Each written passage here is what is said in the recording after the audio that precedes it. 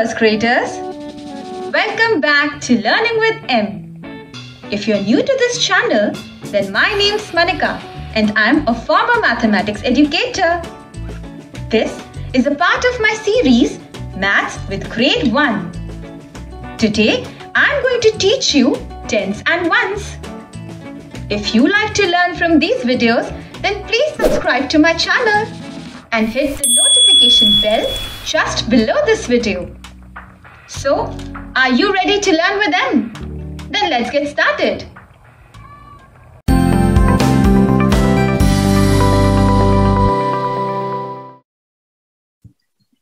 Let's learn tens and ones.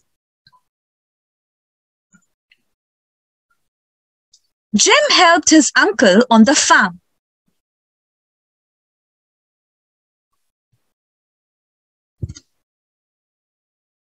His uncle had many apple trees on his farm.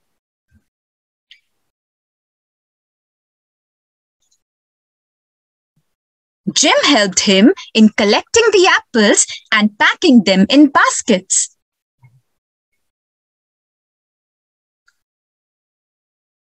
He packed 10 apples in each basket.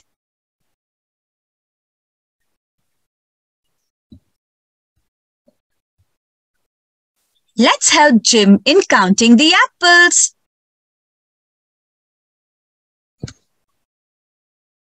One, two,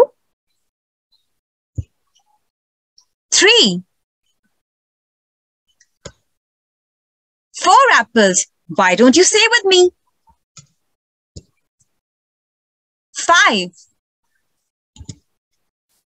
six, seven. Come on, say along with me eight, nine apples, and ten.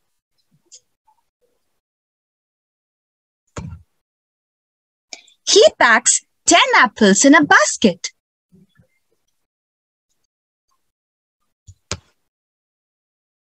We can call the loose apples ones and the set of 10 apples tens.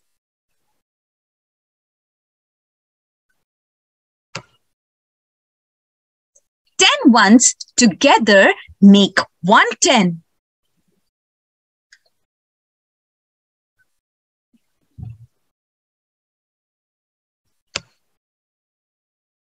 This is also called bundling of ones into groups of tens.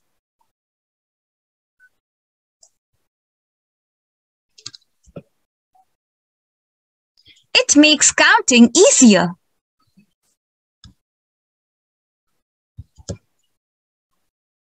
Let's try to count these apples by bundling them into groups of tens. There are two tens and three ones.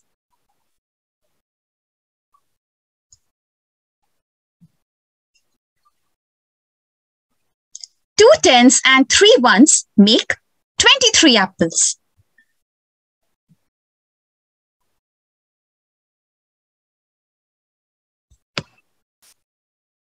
Let's try one more example. How many apples are there in all?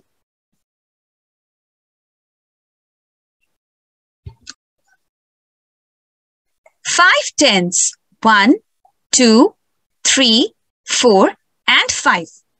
And four ones. One, two, three, and four. So, there are 54 apples.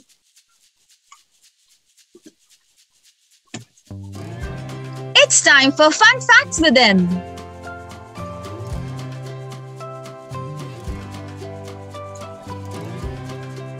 Did you know the prefix deca means 10?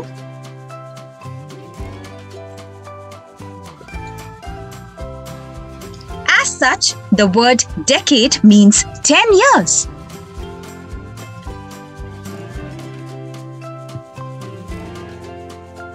Decagon means a 10-sided shape.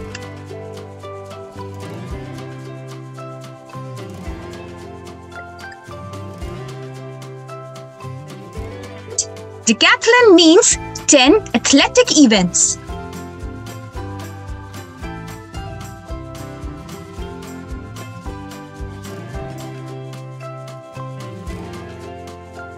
Every two-digit number has tens and ones.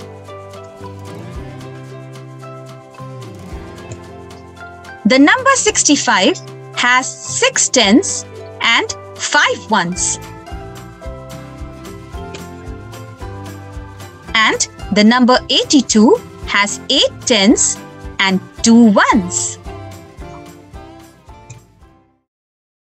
The number 39 has three tens and nine ones.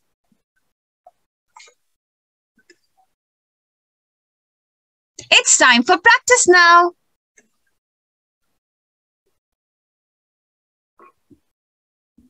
Count the tens and ones. There are one ten and one one. One ten plus one one makes 10 plus 11, which is 11 sticks. Let's try one more. Count the tens and ones.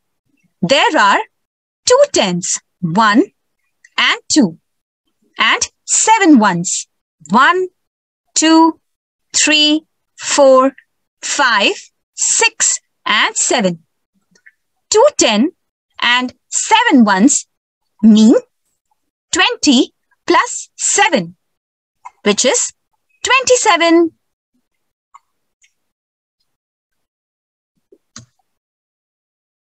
Good job! You are doing great!